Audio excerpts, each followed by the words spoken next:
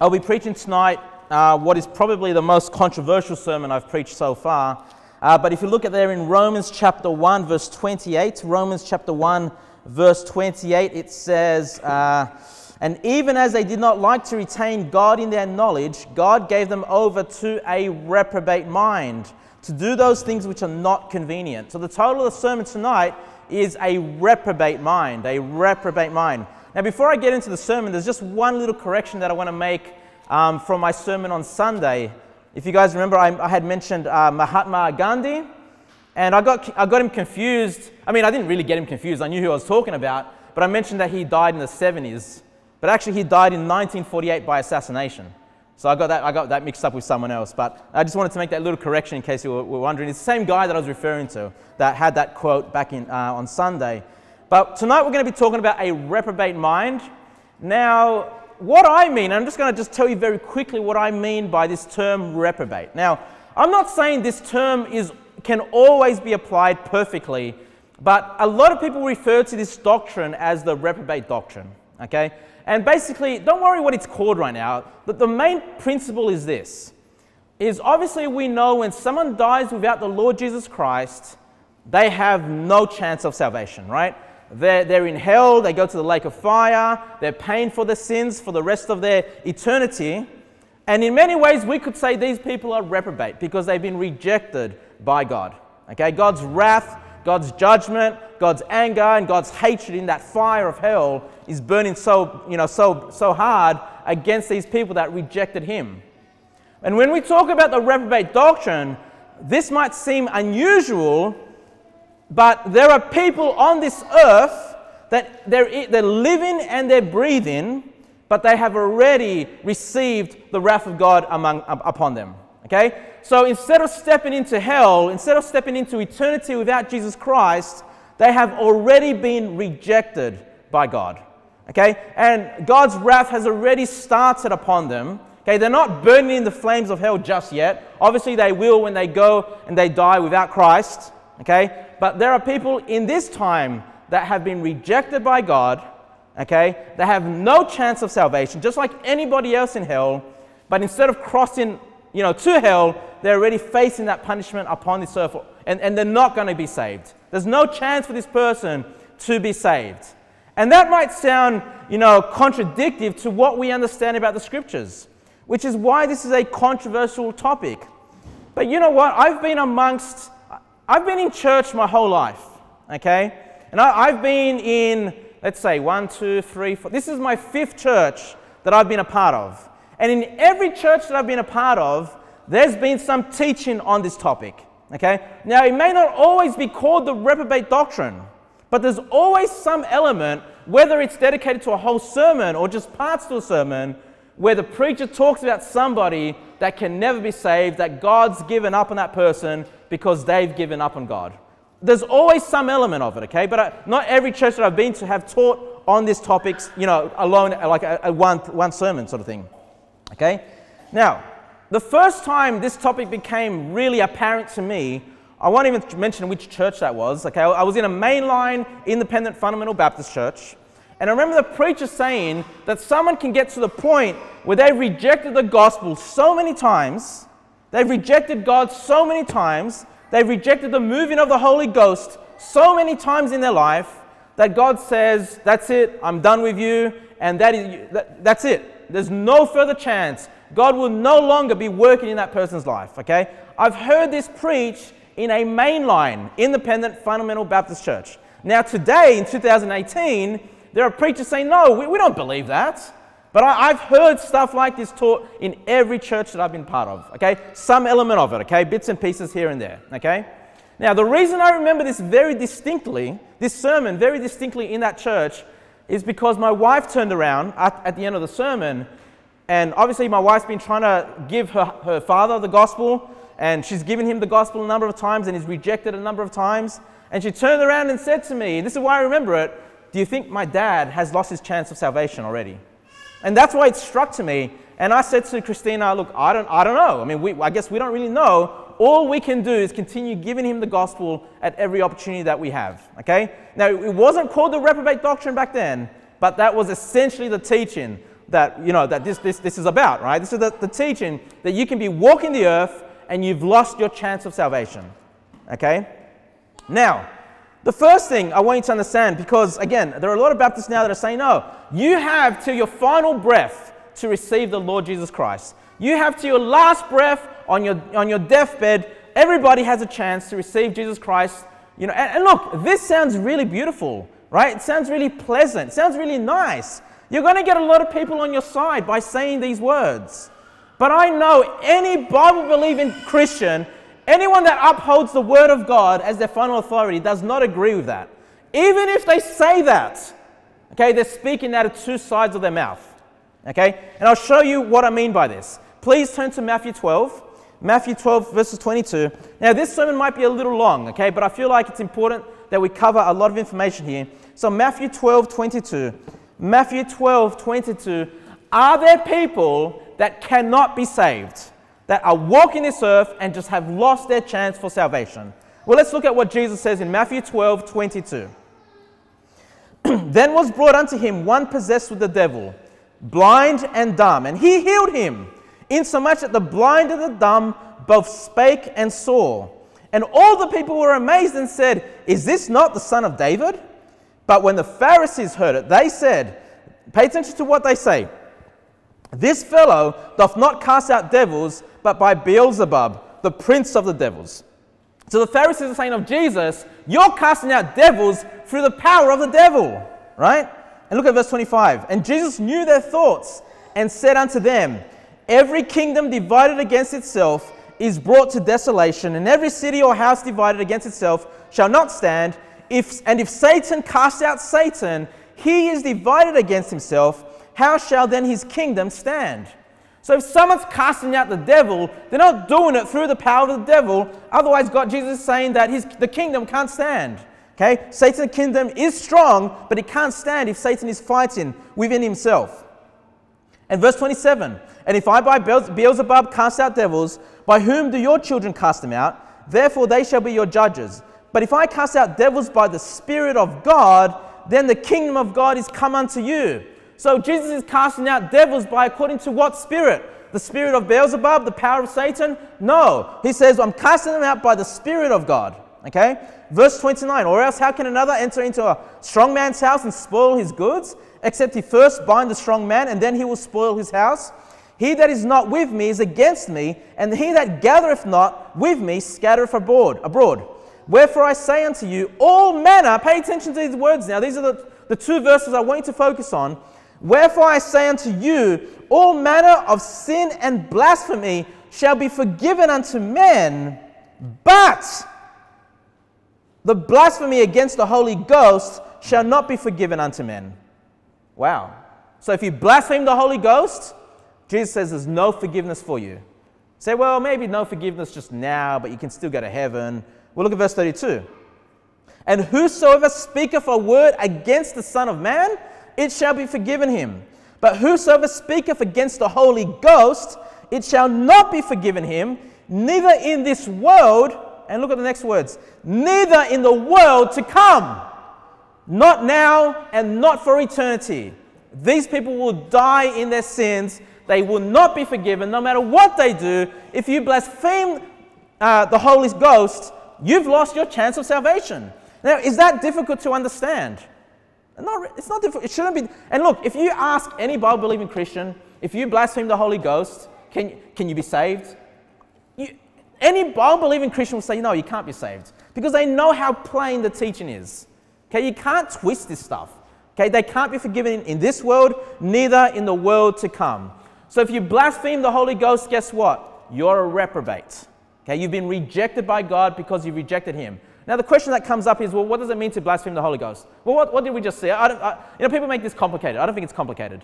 Jesus was doing God's work. He was doing it through the Spirit of God, right?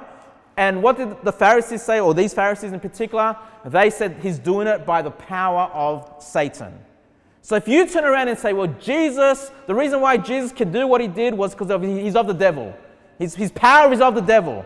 Okay, and you, and you speak like that about Jesus Christ, you're not actually just blaspheming Jesus, you're actually blaspheming the spirit of that that's working those miracles, which is, you know, the spirit of God. That is the blasphemy of the Holy Spirit. If you blaspheme him, you say he's of the devil, you say he's of Satan, you will not be forgiven in this life. Okay? Now, if that, that worries you, here's the thing. If you've believed on the Lord Jesus Christ, thou shalt be saved. Okay, so the point here is that the reason why these people cannot be saved uh, uh, ultimately is because they can't believe. And, and I'll show that to you later on. Okay? Now, turn to Revelation 22. We're going, to, we're going to look at a lot of passages. Revelation 22. Revelation 22, verse 18. Revelation 22, 18. the Bible says, For I testify unto you, every man that heareth the words of the prophecy of this book, if any man shall add unto these things, God shall add unto him the plagues that are written in this book. So if you take uh, specifically the book of Revelation, but I believe this applies to the whole Word of God. If you add anything to His Word, you know, you chop and change it, you're a Bible editor, you add things, you remove things, well, we'll see remove soon, then God's going to add the plagues to you. Okay, the plagues that we read about in the book of Revelation. Verse 19 And if any man shall take away from the words of the book of this prophecy, God shall take away his part out of the book of life and out of the holy city and from the things which are written in this book. Okay, so if you add or remove, guess what? Your part of the book of life will be removed. Okay, and if your name is not found in the book of life, guess what? You're destined to the lake of fire. So do you see this? Someone that adds or removes, change. You know these, these guys, Westcott and Hort, that created their own new Greek text. Okay, they, they added and changed and did whatever they want to the Word of God. They, just, they, they destroyed it. And now you have all these modern translations coming out using this Westcott and Hort translation. Hey, those guys have lost their part in, in, in, the, in the book of life. These people are burning in hell. Even as they were walking on the earth, they've lost their chance of salvation. And again, you can ask any Bible believing preacher, you know, can someone lose their salvation if they add or remove from the Word of God? They'll say, yeah, of course you can. Because again, these things are plain to read, they're not difficult to understand. Okay? So these people are reprobates. They have the reprobate mind. Okay? Now you're in Revelation, look at Revelation 14. Revelation 14, verse 9.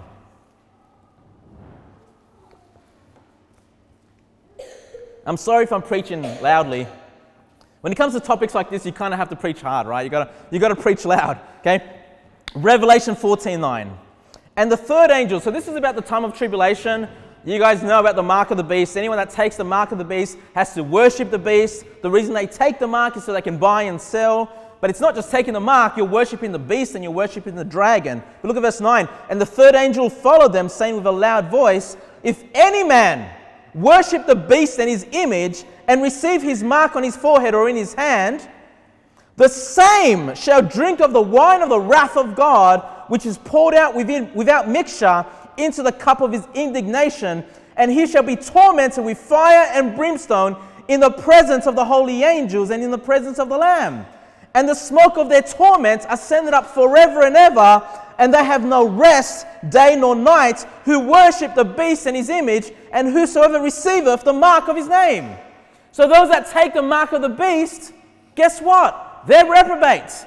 They've been rejected by God. They have no chance of being saved. Their end is the wrath of God, is destruction in the lake of fire. Okay? And of course, following this, God pours out his wrath upon the earth, you know, before they die and go to the lake of fire. So that they experience God's wrath even through those plagues that he has in the book of Revelation prior to being sent uh, to the lake of fire. Okay? Now, so what do we see so far? People that blaspheme the Holy Ghost, people that add and remove things to the Bible, people that take the mark of the beast, all these people have no chance of, of salvation. Okay, they've been rejected by God because they rejected Him. Now turn to John chapter 12. John chapter 12, verse 37. John chapter 12, verse 37.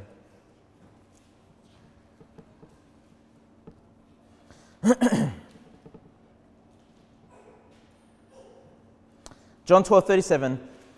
Uh, but though he had done so many miracles before them, so this is about Jesus Christ obviously doing many miracles, yet they believed not on him. So there were certain Jews that did not believe on Jesus Christ, even though he did all the miracles in their sight. Okay? That the saying of Esaias, the prophet might be fulfilled, which he spake, Lord, who have believed our report, and to whom hath the arm of the Lord been revealed? Therefore, look at this. Therefore, they could not believe. So they decided, even though Jesus did all these miracles, they got to a point where they said, I'm not believing this. Okay? And have a look at this. Verse 39 Therefore, they could not believe, right? Because the reprobate, the reason why they can't be saved is because they cannot believe. Okay? Therefore, they could not believe because the Esaias said again, He have blinded their eyes and hardened their hearts. Who? God.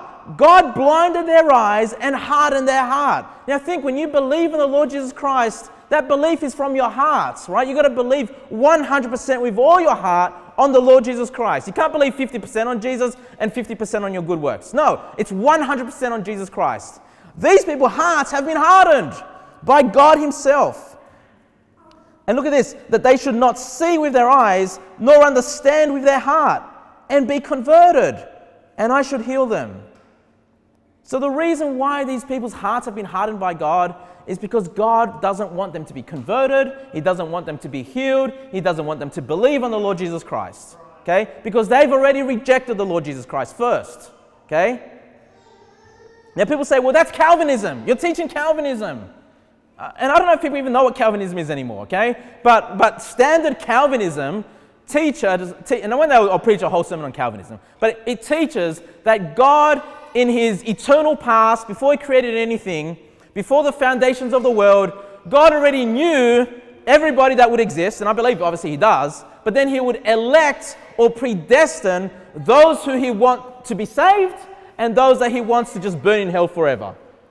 Okay? So God, before these people even have a chance to reject God or a chance to even want to believe on Jesus Christ, God's already made that decision for them. That's what they teach.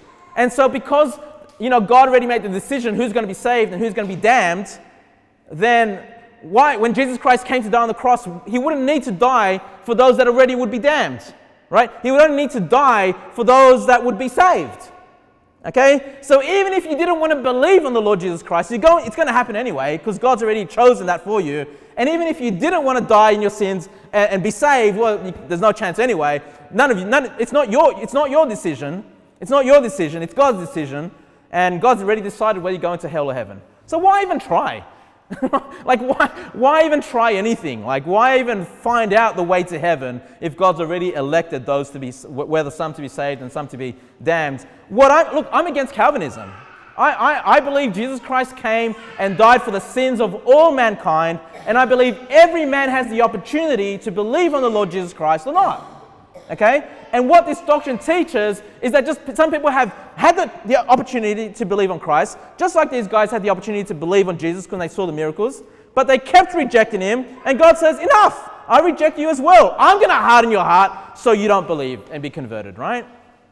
This is not Calvinism. So people that try to throw the Calvinism tag at you, you know, they don't even, I don't, either they don't know what we believe or they don't even know what Calvinism is. It's, it's one of those two things. Okay. Now, I'm going to skip some of my notes, uh, but if you can turn to Romans chapter 1. Let's go to Romans chapter 1. Romans chapter 1, and uh, I'd love to preach on this whole chapter alone. One day I will, obviously. Uh, but let's just start with verse 16. Romans chapter 1, verse 16. Because obviously we believe in the gospel. We believe Jesus died for all man. We believe, you know, for God so loved the world that he gave his only begotten Son, that whosoever believeth in him shall not perish but have everlasting life. We believe that, okay? We believe he died for every man. We believe that Jesus paid the, the, the, the, the price for every man's sin, whether they believe on him and or whether they don't, okay? It's been paid for, but some will just reject that gift, okay? Now, look at verse 16. Romans 1:16. For I am not ashamed of the gospel of Christ, for it is the power of God unto salvation to everyone that believeth, to the Jew first and also to the Greek. But what if God hardens your heart so you can't believe? What's going to happen? You've been rejected by God. You cannot be saved if you cannot believe, right? Now, look at verse 17. For therein, therein what? What we just spoke about, the gospel. For therein, the gospel, is the righteousness of God revealed. Now, what does it mean to reveal something? It means to make it known to others. You know, it's, it's a visible revelation. God's revealed his righteousness in the gospel. He sent Jesus to come and die, uh, was buried the three days, three nights, rose again from the dead, and that's the expression of God's righteousness. That's how he's revealed it to us. Okay?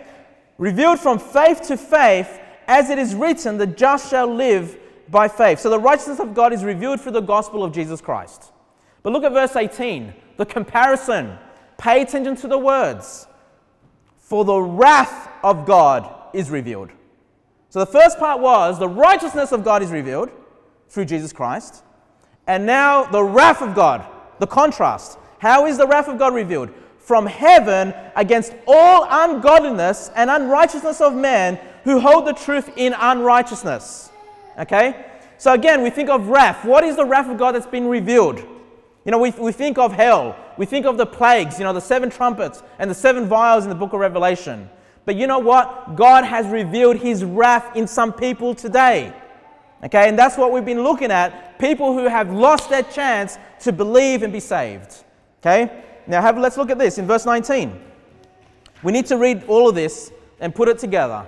Okay, verse 19. Because that which may be known of God is manifest in them, for God hath showed it unto them. So God has given these people the opportunity to believe. He's shown his righteousness to them. He's shown who he is in verse 20 for the invisible things of him from the creation of the world are clearly seen. So, look, even the creation is a, is a reason for people to believe on, on God. Being understood by the things that are made, even his eternal power and Godhead, so that they are without excuse. Because that when they knew God, pay attention to that. When they knew God, these people that we're about to talk about are people who know God, who have heard the gospel. God has revealed himself to them through whatever channels, okay? Creation can be one of them, okay? Who knew God. It's not like they never had a chance. Who knew God. But look at this. They glorified him not as God, neither were thankful, but became vain in their imaginations. Now look at this. And their foolish heart was darkened. Remember how God can harden someone's heart so they don't believe? Well, this is a similar statement there. Their foolish heart was darkened. Okay, because you need to believe with your heart.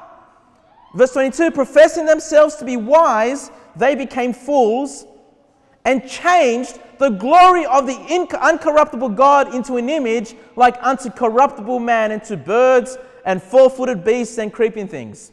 So instead of believing in the God of the Bible, the God, the creator of all things, instead they want to worship and adore the creation, the animals. They, and, and this, you know, when you go when you go door to door, you know, a lot of people say, well, it's, God is everywhere. Like God is everything. God is the tree. God is your God. The animals are God. That's the that's the process that these people that you talk to have taken, and they could potentially become a reprobate. Okay, because this is this is the downward spiral that people take. Now, uh, what am I up to, guys? Verse 24. Okay, now here's the important thing you need to understand. They've been rejected by God. So they rejected God first. So God's rejected them. Okay, we'll see this soon. Verse 24. Wherefore, God, look at the next word. God also gave them up. Also. Okay? So because they worship the creature more than the creator, what that is saying is they have given up on God. They've given up on God. Okay? Then when you read verse 24, wherefore God also gave them up. So that's the response of God. You want to worship the creatures? You don't want to acknowledge me as God? Then I'm going to come and give you up. Okay? God also gave them up. Now, how did He give them up? To uncleanness through the lust of their own hearts, to dishonor their own bodies between themselves. So these people are dishonoring their bodies. This is how we know that the wrath of God is, has been revealed in these people because they start to defile their own bodies. And you might be saying, well, what does that mean? Well, let's read on because God explains this to us three different ways. Okay, and it's a matter of just putting all these things together and it becomes crystal clear who these reprobates are, who these people with a reprobate mind are. We'll see you soon. Uh, verse 25 Who changed the truth of God into a lie and worshipped and served the creature more than the creator who is blessed forever. Amen. So you can see how we're starting to repeat the same process there. These people, again, rejecting the Creator and want to worship the creation. Verse 26 For this cause. So, for the reason that they're rejecting God, God's going to do something to them. For this cause, God gave them up. God's given them over. God's given them up. Look at this. Uh, unto vile affections. So that this honoring of their bodies now is being described as a vile affection. For even their women did change the natural use into that which is against nature. This is uh, lesbianism. I forgot the word. Lesbianism, okay? This is two women wanting to be together. And verse 27 and likewise, so in the likewise, the same way that the women change the natural use of their bodies, and likewise also the men, leaving the natural use of the woman, burned in their lust one toward another, men with men working that which is unseemly, and receiving in themselves that recompense of the error which was meet. So, what is this vile affection? What is this dishonoring of their bodies that we read about earlier? Homosexuality. It's the sodomites. Okay? This group of people that make up some 2% of our population is what is being referred to here. We haven't looked at any other sins right now. Okay? God just this is the second time God's explaining it to us, okay? Let's let's keep going. The third time, verse 28. And even as they did not like to retain God in their knowledge. So, did they have a knowledge of God? Yeah. Did they want to retain that knowledge and know more about Him? No. Even as they did not like to retain God in their knowledge, God gave them over to a reprobate mind to do those things which are not convenient. Well, what things that are not convenient? We've just been reading about it, okay? God sent us three times dishonoring their bodies, homosexuality, okay? And God, when He gives them up, when He gives them over, when He gives them over three times, He's given them a reprobate mind. Okay? It's a mind that is like animalistic. It is not a natural, normal human mind. Okay? It's been changed. And their hearts have been hardened. Okay? Their hearts have been hardened as well. We'll see, we'll see soon a little bit more of this. Um, and it says, yeah, to do those things which are not convenient. Obviously, not convenient, referring to what we just read, those homosexual acts. Now, you don't need to turn there. Stay in Romans 1. I'm just going to read to you Jeremiah 6.30. Okay? And I, I heard a sermon recently that um, Jeremiah 6.30 is where we base everything on this reprobate doctrine. Jeremiah 6.30 is just helps us understand what the word reprobate means. Okay? Now, if you look up the word reprobate in a dictionary, it's pretty obvious. It's just someone that's been rejected or something that's been rejected. That, that's really what it means, okay?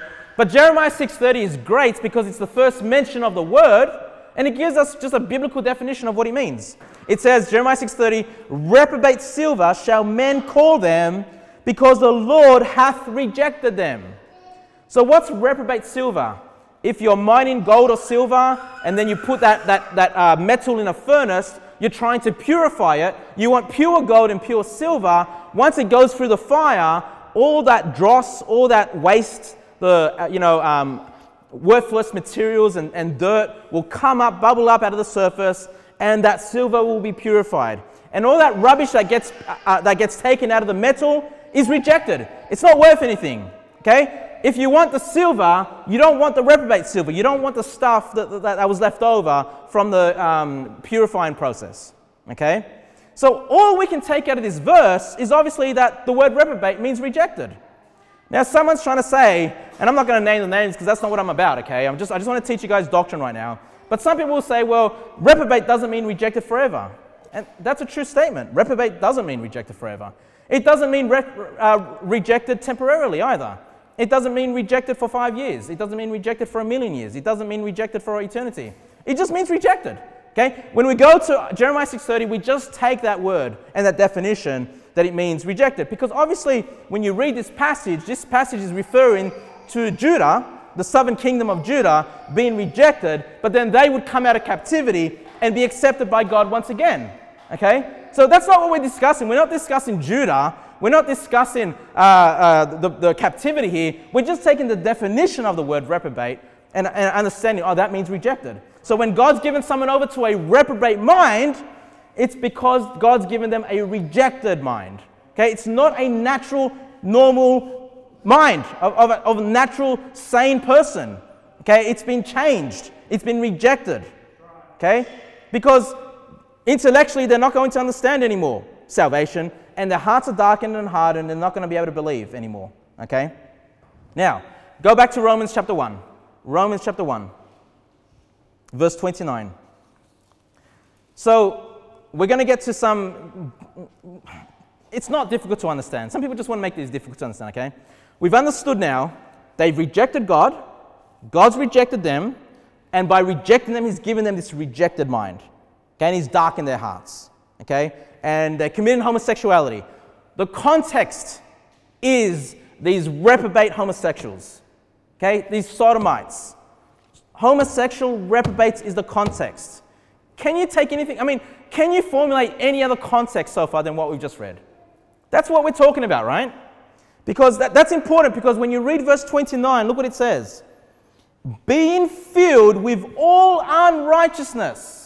What are we talking about? Who's being filled with all unrighteousness? The reprobates are. Okay, the homosexuals are specifically. Okay, these people are being filled with all unrighteousness, fornication, wickedness, covetousness, maliciousness, full of envy, murder, debates, deceit, malignity, whisperers, backbiters, haters of God, despiteful, proud, boasters, inventors of evil things, disobedient to parents, without understanding. Why? Because they got the reprobate mind. Covenant breakers, without natural affection. Why? Because their hearts are darkened, implacable, unmerciful. Okay, so these homosexual reprobates are filled with all these sins. That's what the Bible's teaching us. And you might say, but Kevin, I, I know this homosexual and he's the nicest guy I've ever met. He's such a friendly person. That's a lie. Okay? I know that's a front they put up for you, okay, so, to make you sympathetic toward them, to them. But God tells us, no, they are full of these evil and wicked sins. And look, I know, I understand that some of these things in this list we've done. Okay? I, I, I acknowledge that some of these sins in this list are things that we've done. But people that want to deny this doctrine, what they do is they just lump in homosexuality with all these other sins. Well, homosexuality is just one of the, all the other sins that we all do. Okay, no, it's the homosexual that is filled with all these sins. Okay, it's not just another sin in the list. This list is the homosexual. Okay? If you read it again, that will come clear to you. Otherwise, you have to conclude that God has given all of us reprobate minds. That God has hardened, darkened all our hearts. Because that's what people say. Well, no, this is all of us. Well, are you saying you're a reprobate then? Is that what you're saying? Are you saying God's given you over to your homosexual lusts? Is that what you're saying? Because I'm not. I've not been given over to that. That's the, the most filthy and disgusting thing that could possibly enter into my mind. This is why it's reprobate. This is why it's rejected.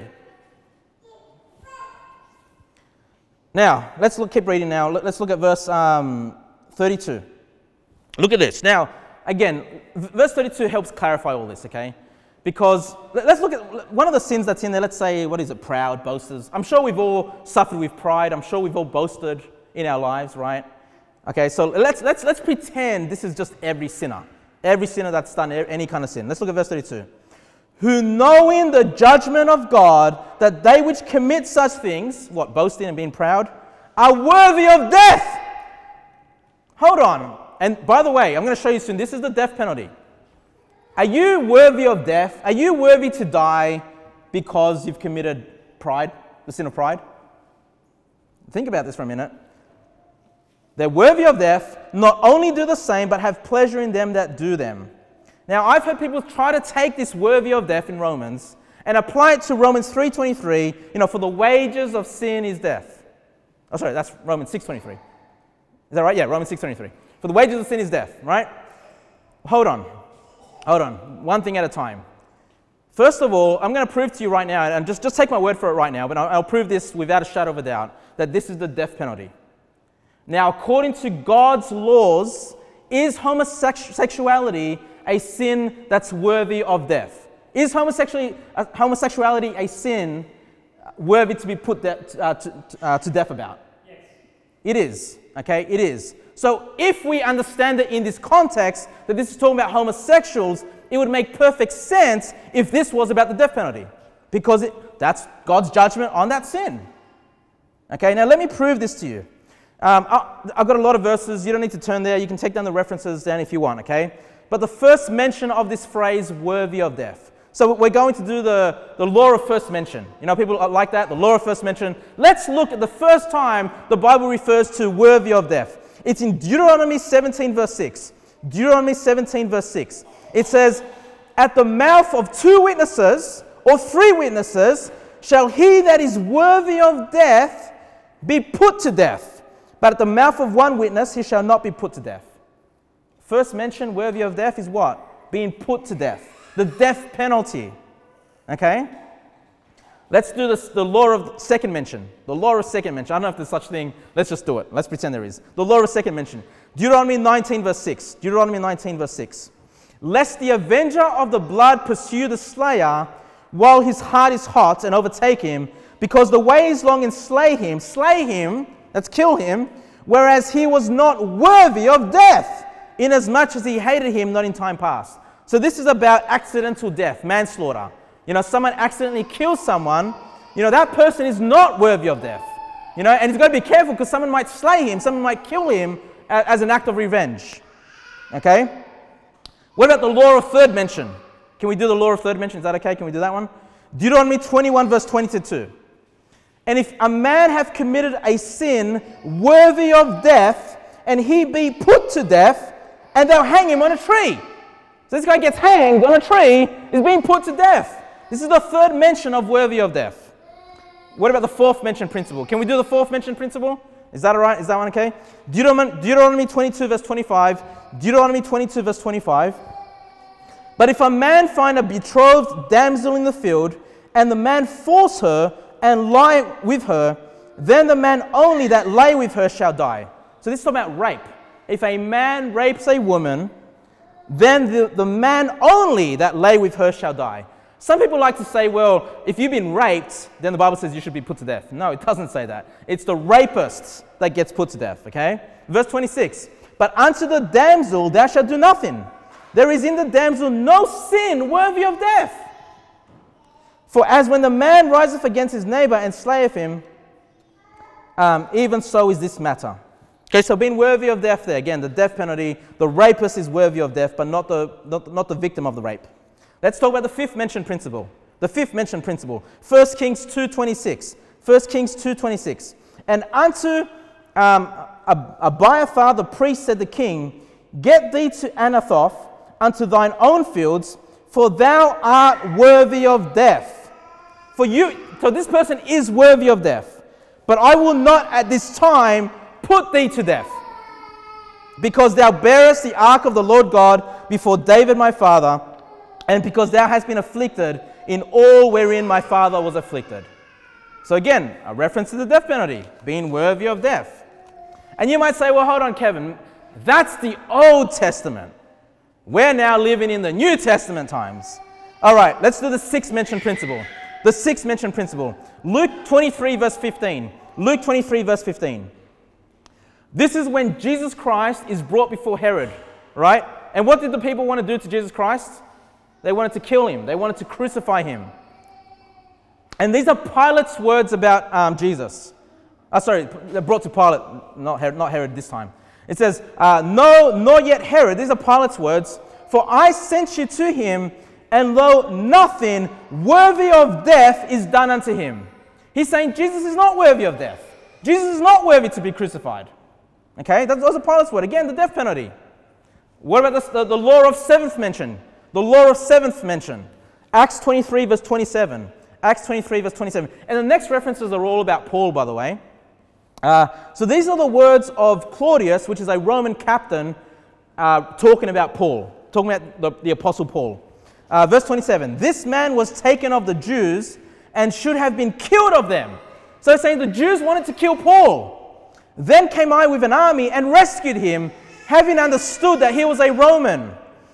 And when I would have known the cause whereof they accused, accused him, I brought him forth into their council whom I perceived to be accused of questions of their law, but to have done nothing laid to his charge worthy of death or of bonds. He says, look, they wanted to kill him, but he's not worthy of death. Okay? And then in Acts 25, verse 11, the eighth mentioned principle, and I'm sorry to drive this home, but I think it's important. Okay? The eighth mentioned principle, Acts 25, verse 11, these are Paul's words of defense. Paul's words of his own defense as they were trying to kill him. He says, For if I be an offender or have committed anything worthy of death, I refuse not to die. So he says, Look, if, I'm, if I've done anything worthy of death, then yeah, it's okay, kill me. I, I don't refuse that, okay? But if there be done, if there be done none of these things whereof they accuse me, no man may deliver me unto them. I appeal unto Caesar. So again, what's, what's worthy of death? The death penalty. Okay? Now, the law of ninth mention. Number nine, Acts 25 25. These are Festus's words to King Agrippa about Paul. They're talking about Paul. King Agrippa is talking to uh, Festus about Paul. Verse 25. And when I found that he had committed nothing worthy of death, and that he himself have appealed to Augustus, I have determined to send him. So they're saying, look, he's not worthy of the death penalty. The law of tenth mention. The law of tenth mention. This is all New Testament. New Testament. The law of tenth mention. Acts 26, verse 31. This is an assessment of those listening to Paul's case to say, well, is he worthy of death? Is he worthy of the death penalty? Verse 31.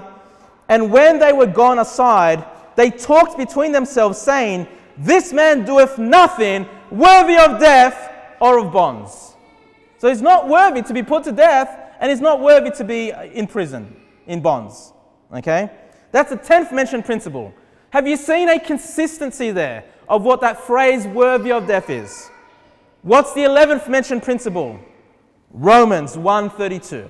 It's the only other place in the whole Bible, after we've gone through 10 mentions about worthy of death, about being the death penalty, we get to the 11th mention, Romans 1.32, who knowing the judgment of God, that they which commit such things are worthy of death, not only do the same, but have pleasure in them that do them. How can you turn around and say, well, 10 times in the Bible leading up to this, Old Testament, New Testament, it was a death penalty, but now, nah, that's just everybody just dying like just your, everybody dying and going to hell for your sins. Come on, let's use the Bible to define the Bible. Let's use the Bible. Let, let's get a little bit smarter. Okay, Let, let's go back and study the Bible and make sure whatever we stand and preach on is based on the Word of God. Okay, let's do that. Now let's, let's deal with another issue here. Romans 2, chapter, uh, verse 1. Romans 2, verse 1. So, uh, my point of going through all of that was to show you that these people, the Bible is saying, need to suffer the death penalty. They need to be put to death because they're worthy of death. Why are they worthy of death? Because they committed some of those sins? No, because they're homosexuals and God put the death penalty on homosexuality. That's the consistency of the Bible. So don't turn around and say, well, that's all of us. Well, I mean, look, if God's given you over to your lust of homosexuality, then yeah, that's you. That, you, you are a reprobate, okay? Honestly, that, that's the case. God's hardened your heart and He's rejected you. Now, some people say, well, hold on, wait a minute, wait a minute. You can't just read chapter 1 and not look at chapter 2. So let's look at chapter 2. Chapter 2, verse 1. Therefore, so therefore, what we just talked about, thou art inexcusable, O man. So he's talking about everybody else here. Thou art inexcusable, O man. Whosoever thou art that judgest, for wherein thou judgest another, thou condemnest thyself. For thou that judgest doest the same things. And they're saying, see, homosexuals can be saved. And by the way, my point of all this is that the fourth group of reprobates that we read about are the homosexuals, if, if you haven't caught my gist, okay? It, it was those that have taken and removed things from the Bible, it's those that take the mark of the beast in the tribulation period, it's those that blaspheme the Holy Ghost, and the homosexuals. That's group number four, okay? And this seems to be the most controversial one because over the last few decades, you know, the media and these lobby groups, the government and the schools have been indoctrinating our minds to just become accepting of this, of this LGBT QRS TUV movement, okay? Because in the, look, I grew up in the, I was born in the 80s. In the 80s, everybody hated the homosexuals. In the 90s, we started laughing at the homosexuals. In the 2000s, we started to be accepting of the homosexuals. And in the 2010s, the churches started accepting them in, the, in their churches. And I'm not going to accept that. I'm not going to accept someone who was a reprobate someone who's filled with these kind of sins to come and infest this church. Why? Because of them? No, because of you. Because I love you that much and I want you to be safe and I love our children so much that I don't want them to become victims of these people. It's not about them, it's about you, you know? And if, if, if I'm the pastor, I'm the bishop of this church, I'm not going to let these, these vile offenders come in and, and hurt our people here. Okay? And how many stories do you know? How many stories do you know of our churches? They let these people in and then they've got the victims. And they're still trying to protect these people. They don't care about the victims. And look, it's going to keep happening. You're going to keep hearing report after report after report of these reprobates coming into churches and defiling uh, the young people. Okay? Committing sodomy, committing pedophilia. I mean, it happens even in the independent Baptists, guys. Even in the independent fundamental Baptists. Okay? Don't think it's just the Catholics, the Roman Catholics. No, even in our circles, it happens. Okay? And that's why I don't have a Sunday school class with some guy that I don't know teaching the kids. I don't know what, what that guy could be doing behind closed doors. And that's why when our kids here, because they are smart enough to understand the Word of God, okay? And parents, you can watch them, all right? We, parents, protect your own kids, you know? Now, let's understand what we just read in Romans 2 1. Sorry, I got on a tangent there. But it says at the end of there, For thou that judgest doest the same things. Uh, so see, some of these people who get saved were also committing homosexuality. No, no, no, no, no. That's not what it's saying. Okay? The same things that we can do that, are, that comes from chapter 1 is that list that homosexuals are filled with. Okay? Let's have a look at that list again. I'll just go back a little bit. I'll just read it. Actually, I'll just read it from the Bible. Verse 29 being filled with all unrighteousness, fornication. Maybe some of you have done that. Wickedness, covetousness. These are things that people, sort of anybody can do, right?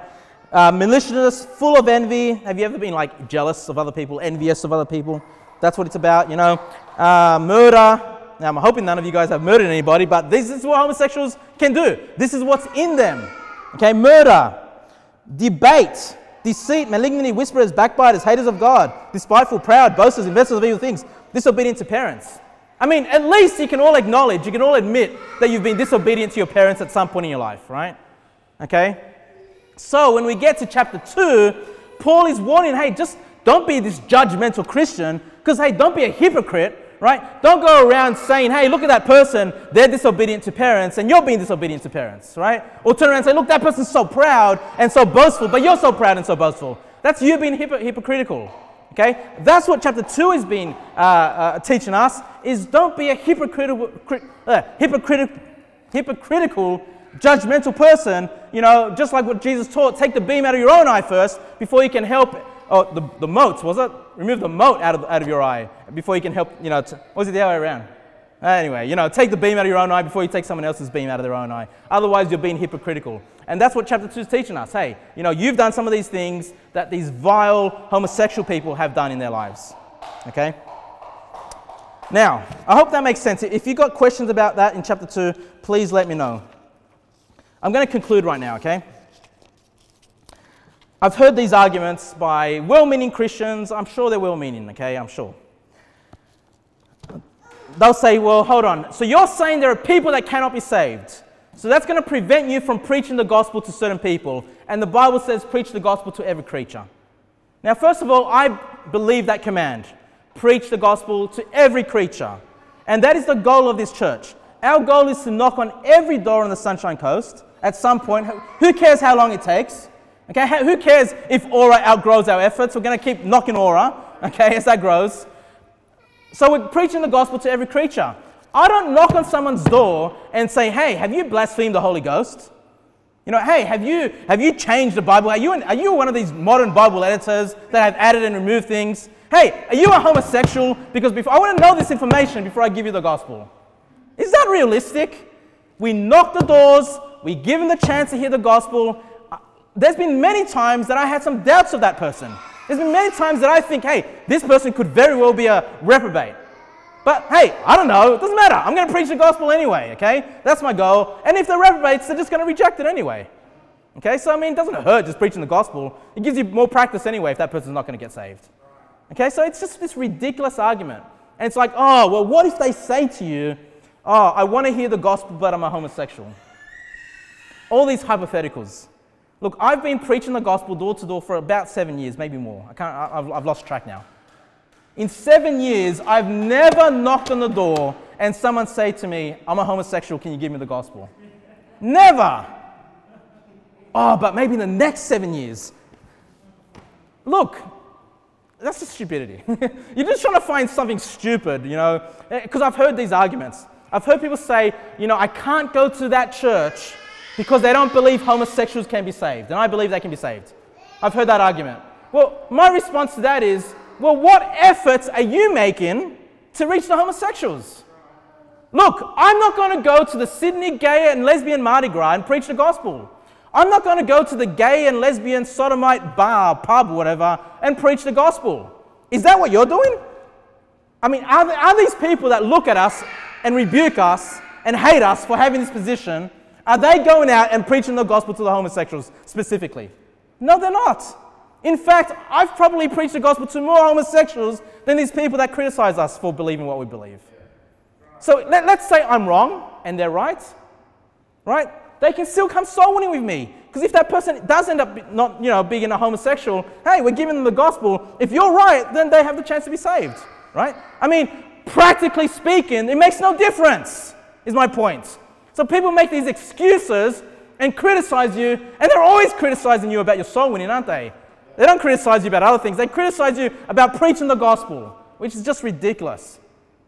Man, you, look, you don't have to believe the reprobate doctrine to go soul winning with me. You don't have to even believe what I'm teaching right now for you to be a member in this church and for me to love and appreciate you. Okay? But um, it's my job to teach you what we learnt on Sunday that there are workers of iniquity that God hates, and people can get to the point where God hates someone so much that He's rejected them. Is that hard to believe? I mean, why else would God reject them if He doesn't hate them? He loved them at one point in time. The gospel was available to them. It was, he, it was manifest to them. They knew God, but they rejected God. Okay? This is not Calvinism. I don't want the predators coming to this church. All right? I don't want these people coming here. I don't want homosexuals here. I don't want uh, people that have blasphemed the Holy Ghost here. I don't want people that want to change our Bibles and add and remove things here. I don't want any of these people here in this church, okay? None of these people. Now, I have a thought, but I can't think of it right now what it was. How can I wrap this up? Any suggestions? I think I've covered all bases. If there's anything else, I'll, I'll, cover it in some other sermon. But yeah, look, guys, any questions, please let me know. And again, listen, this is a secondary doctrine. If someone doesn't believe this, please don't attack them. Okay? Don't, don't criticize them. It is, a, it is hard. It is hard. It is a hard saying. It is hard preaching. Okay, it's not for everybody. I understand. Some people need a lot of time to absorb this information. Okay, because it's, it's something they never hear. They don't hear it preached. Or if they've heard it preached, then, they, then the same pastor will turn around and say, well, anybody can be saved till, you know, the deathbed. And so they get bits of information here and there, contradicting information, and they don't know what to believe anymore. But guys, uh, my job is just to preach the word of God without compromise